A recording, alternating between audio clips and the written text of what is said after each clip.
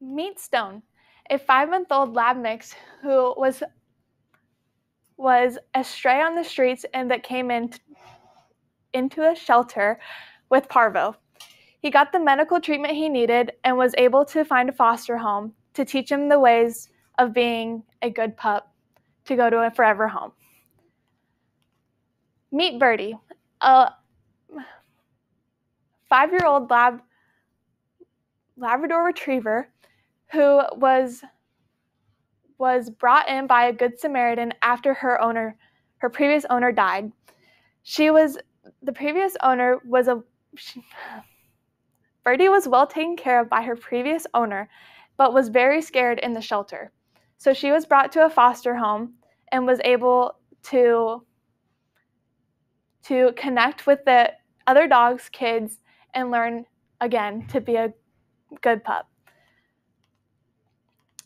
Meet Augie, a Weiler mix who loves tug of war and loves to play and is very, very playful for her age. She's 10 years old. She is looking for a home that doesn't have dogs or other cats. Cats or other dogs. um, some people have their own, everyone has their own opinion on whether you should buy from a shelter or from a breeder. And many people like the fact that they can buy from a breeder and pick the puppy and raise it from, from birth. But I'm here to tell you why you should adopt from your local animal shelter. We will be going through the physiological, the financial, and the moral aspects of adopting a shelter animal. Um,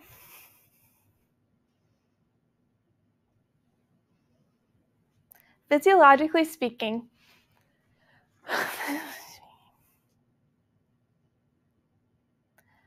many dogs who find themselves at a shelter come from a bad situation, which should not be the case, but it is. They go through either they either they come to the shelter either abandoned, neglected, or dumped, which is super sad. But that should not be how a dog lives. They should be in a forever home with a family that loves them and takes good care of them. You could be the person that changes a dog's life and take them out of the scary shelter life. I'm not saying that shelters are bad, actually, quite the opposite. Shelters and humane societies do a lot for animals by training or taking them for walks, taking care of them, feeding them, and doing one on one sessions to make them a better candidate for adoption. Um, according to diamondpet.com, unfortunately, that is not always the result, and many dogs end up being euthanized due to lack of holding space and failure to get adopted after a certain time. Many shelters, especially kill shelters, have to euthanize their animals due to the lack of holding space. And that's because all the all of the breeders are breeding too many making them come back to the shelter and be abandoned. Um, moving on to a financial perspective, dogs that come from breeders are way more expensive than dogs that come from shelters. Shelter animals only. Um, hold on.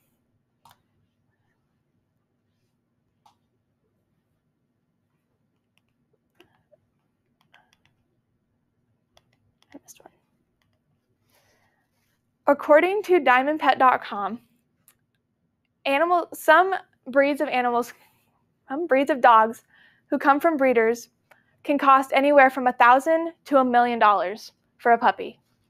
And of course that all depends on how many litter mates, the breed, and the health of the puppy.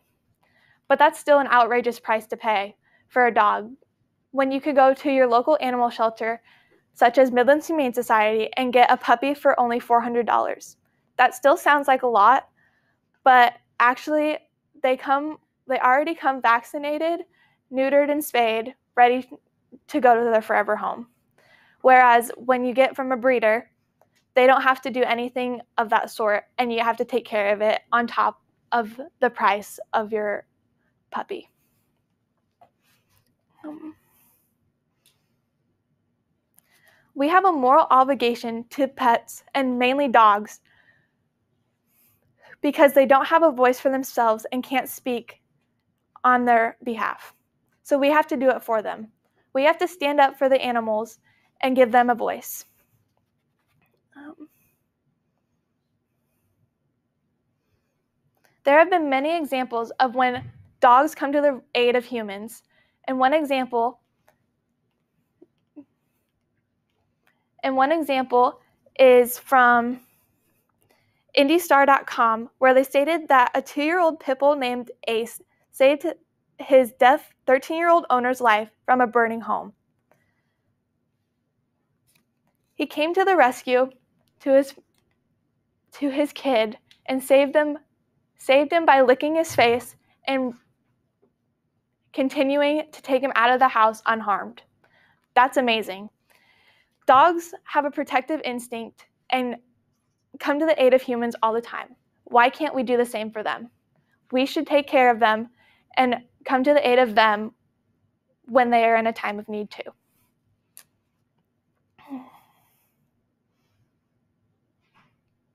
Today I hope you realize that from buying that buying from a humane society or a shelter is better in the long run.